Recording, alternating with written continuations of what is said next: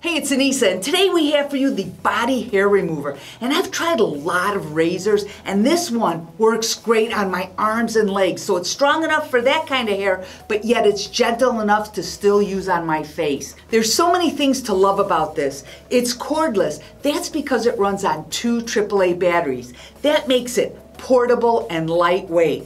Now you are really going to love the dual-sided blade. That allows you to go back and forth to get rid of the hair quickly and easily. And with this, you're not going to have any nicks, cuts, or razor bumps. You can use this in even the most sensitive areas. This is the perfect travel companion. You don't need to use water or shaving gel to get rid of that hair. And it's so easy to clean. It even comes with a little brush to brush away the hair. Now what's the best thing about this? It's our super low price. Similar ones to this can sell for as much as $30. You're not going to pay anywhere near that. So head on over to the site, see your special price, and grab one today.